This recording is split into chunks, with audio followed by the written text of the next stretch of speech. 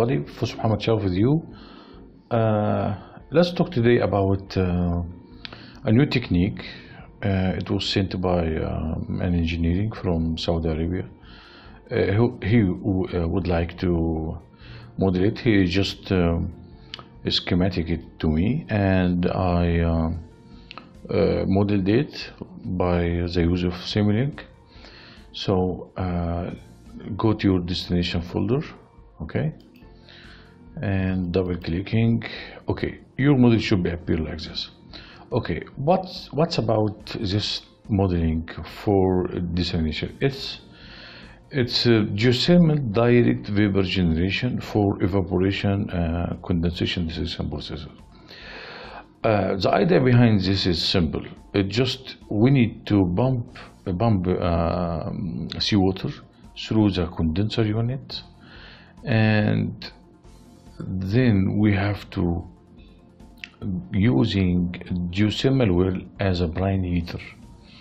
So uh, we are going to pumping uh, seawater inside uh, the, the well, despite of or regardless um, uh, um, what is the problem behind this, what is the salt contaminants inside the well, what is uh, what is the side effect of this operation, um, it's still under study. But we have to uh, discover thermodynamically what is going on. So we, we are going to pumping uh, seawater inside the, uh, the well in order to rise up its temperature uh, up to uh, uh, our desirable uh, uh, degree. Uh, so we have to decide the top steam temperature, and uh, our assumption is that it's complete um, evaporation inside uh, the earth. So we are going to catch up uh, fully vaporized steam, uh, and we we will use it through, and we are going to condense it in order to um, get our uh, desalted water. And brine and saline water will stir in uh, uh, in mm, uh, remaining in um, uh, geothermal well. Uh, what is going on after that? It is not my specialization. I am just caring about how to model such technique, and uh, we are going to continue our study about the side effects of uh, pumping saline water inside uh, the geothermal well and, and so on. Uh, all we are going to care about is just it's a direct vapor generation uh, for complete condensation. This is our main assumptions. Okay. Okay. For model information. Okay. You have to go to your uh, model browser.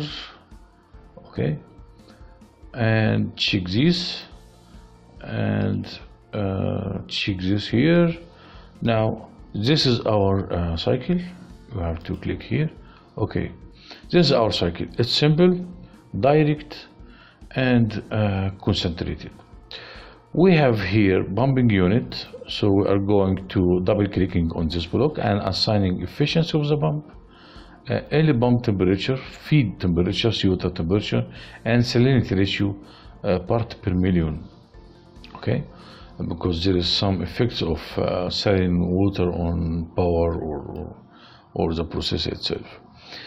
And the second unit, because uh, stream stream uh, seawater stream is going to make um, or to act as a double acting process. It will cooling down the condenser for condensation processes, and uh, going to we can use this preheated uh, um, feed because uh, I think it, we, we can utilize this before as a process before going to the geothermal well. We can use this stream for another desalination processes, maybe for another uh, work recommendation or future work. We can we can deal with this. So we have here uh, uh, condenser unit. Condenser unit.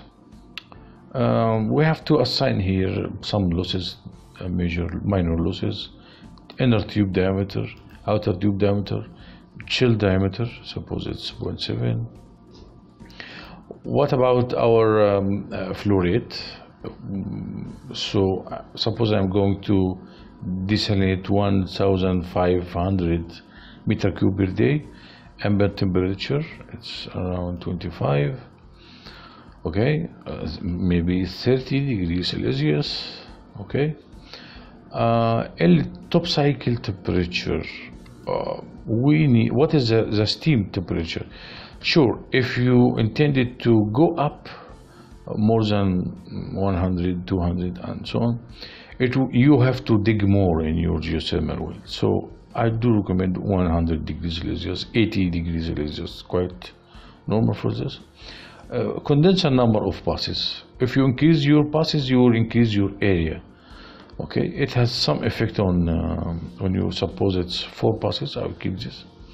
Performance I think going with a lower efficiency, you can you can discover the effect. Going up to one percent, there is some com complex calculation for uh, effectiveness. It, it depends on your operating conditions. Suppose it's let's begin from 0.5. Okay. For geothermal, it's simple. We need just a steam pipe diameter in inch. You can uh, sign this you can assign ambient temperature and um, standards for geothermal What is your standard? European standards or US, USA standards? I, I am going to use this one. Okay. Set your simulation time to zero. Okay, for single point running, and let's hit run here. It's simple, direct and uh, um, of course it's slower in efficiency because it's uh, direct condensation. Okay let's discover our results. First one is bump. As you can see here we have this is our bumping board. It's 0.7 nearly 0.7 kilowatts. Sure if you increased your uh, system productivity it will harvest more power. This is specific power consumption. Okay and we have here this is well pressure pressure loss to the evaporator high pressure uh, in bars. This is this is temperature of the feed and this is total mass flow rate. Okay total mass flow rate. We already assigned this. Okay for condenser unit. Okay. For condenser as you can see here uh, I'm sorry. Yes. We have uh, cooling inlet and cooling outlet and steam inlet and condensate outlet. So we have four streams. Let's go inside here and discover. Okay. Inlet steam temperature is 100 we already assigned this one. And cooling uh, inlet temperature is 25 and we already assigned this one. So what is the outlet cooling stream? Outlet cooling stream it, before going to the um, uh, geothermal it's around uh, 62.5 we have enthalpy, we have pressure, and we have distillate uh, distillate temperature. This is distillate temperature is this the condensate temperature or distillate temperature. We have to calculate it. It's around 62.5 degrees Celsius. Enthalpy of the distillate, uh, pressure outlet of the distillate, condenser area, number of tubes, uh, uh tube lenses, uh, condenser energy, this is heat rejection energy, and uh, exergy destruction rate. In order to discover your result in signal processing for or signal inspector, this button, um, in case if you are going to to run your model under dynamic modeling, you have to go here and check this box and double clicking and we can write here I condenser in kilowatt or exergy destruction rate in kilowatt okay? Okay uh, so we have we will find this value in our signal processing uh, signal inspector. For geothermal well let's go for geothermal well we have exergy destruction rate exer inlet exergy stream outlet exergy and we have enthalpy of uh, outlet stream okay? This enthalpy of, uh, of the steam. And we have here okay well depth in feet. And we have uh, diameter of the hole in inch uh, uh, digging pipe casing diameter geothermal well uh, pressure wellhead pressure uh, silica concentration and we have here according we have here this is for 100 degrees celsius. We have to dig only for 100 around uh, 300 meters according to US uh, standards. For cost calculation you can uh, discover hourly cost for uh, geothermal well for condenser for pump for total hourly costs total annual costs and total price. Okay. You can double clicking on your cost model and assign your uh, plant lifetime interest rates load factor and geothermal uh, investment uh, costs. Let it be around 1040 including uh, digging and all st- uh, stuff like this so suppose I'm going for a dynamic model, I have to set my simulation time into infinity. And I would like to uh, changing some uh, parameters. Let's go. Let's go for uh, uh, some parameters and hit run. Okay. Uh, double clicking. Let's go for changing productivity. I'm going to increase my productivity up to uh, suppose it's for uh, 5000 okay 5000 meter cube per day. Okay. Oh, okay. And uh, number of uh, passes uh, in the condenser eight passes. Okay top steam cycle temperature I am going for suppose it's um, up to uh, 150 okay okay. Let's increase our uh, effectiveness up to um, 70 or 60 okay 70 percent effectiveness okay. Let's increasing my, our salinity increasing my salinity up to 40 40,000 ppm okay it's quite good. Okay that's enough for this. That's it stop. Okay uh, let's go and see uh, I forget to okay. I forget to discover your similar results in data inspector. I have to uh, to add this one. Okay. Will I'm okay for uh, let's go for here for my results here. For data inspector check here.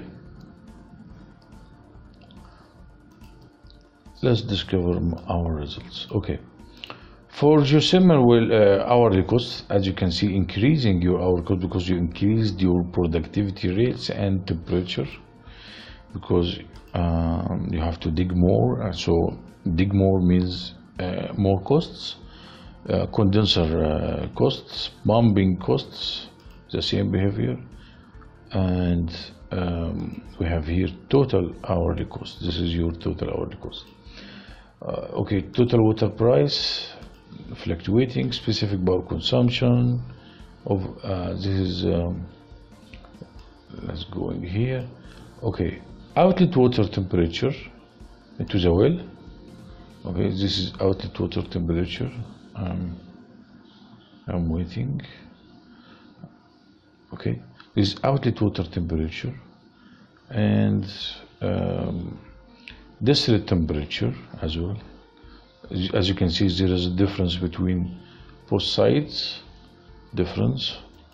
And uh, we have distillate enthalpy um, and we have here a condenser area increasing and decreasing evaporator. This is a mass of distillate okay? I forget to discover uh, result effect on um, let's close this one. Let's go for uh, geothermal well and let's assign some outputs here. Uh, suppose I'm going for uh, well depth so you have to check this one double clicking feet double clicking and end this one. Okay remove this column uh, hole diameter diameter casing will wellhead pressure. Let's go here and assign this one. Silica uh, concentrations and well depth I have to write here right here where depth in uh, kilometers okay uh, well temperature it's okay and um, uh, yes inlet well temperature just coming from the from the pump from the condenser after uh, cooling. We can go here and assign this outlet cooling temperature it's okay it's already assigned okay uh, let's hit run again and trying to decreasing and see what is going on. Let's hit run. Okay let's go here trying to decrease my productivity. Okay down to lower values. Okay 100 100 is enough and decreasing our temperatures. No need for high rates of uh, temperature because it's simple down to 80 90 degrees uh, dec decreasing uh, uh number of passages in uh, in the condenser okay? Decreasing my effectiveness down to uh, 0.5 0.5 uh, okay. And uh, let's go for salinity decreasing also. You can. I'm just demonstrating uh, uh, in order to show you what is the effect of changing. So I can change one parameter and get my results change two parameters at the same time. That's it. Stop here. We can also add uh, going here and that's for signal for sources and I can add um, signal builder block. So I can add um, many signals at the same time and controlling it at once in a specific limited time in order to get my results. Suppose it's in hours or minutes or seconds uh, I can control this one. Let's inspect our results. Okay. Uh, these are our results okay this you can compare your runs because this is your order result. So as you can see here this run number number two and number number three. So as you can see decreasing decreasing will, will cause decreasing for costs as you can see here. Condenser hourly costs bump hourly costs and totals as you can see you can compare between results on the same total water price um, specific power consumption okay and uh, outlet temperature outlet temperature to the well okay decreasing enthalpy of outlet distillate enthalpy distillate enthalpy okay well depths in feet okay well depths in kilometers as you can see here still decreasing at well temperature. And we have here condenser area. Okay. So uh, we are trying to say that we can um, uh, we can model such things easily and we can discover our results. Uh, it's um, this technique uh, so also I forget to tell you that we, you can send to the figure or you can export your results outside this uh, inspector and you can deal this deal with this uh, in your workspace here. You can find your results if if you type area con, condenser, you'll find your results here, or just double clicking, or you can uh, drag and drop and click enter. Okay, uh, finally, it's a, a simple technique, a direct vapor generation regardless uh, what is the side effects of salt of saline brine inside uh, the geothermal well or effect on on pipes these things uh, are still under study. We just thermodynamically your the, the model is, is uh, your model is fine working fine and our results it's are uh, our results are superb and accurate okay? You can also go in here. For each block you can double clicking and you can edit your block. Removing something adding something adding new parameter. This is this your uh, these are your inputs. These are your function. And these are your uh, uh, outputs. So you can edit your model and reform it as well.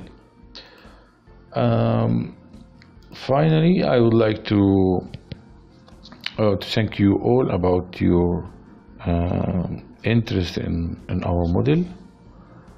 Um, uh, don't forget to like share uh, subscribe.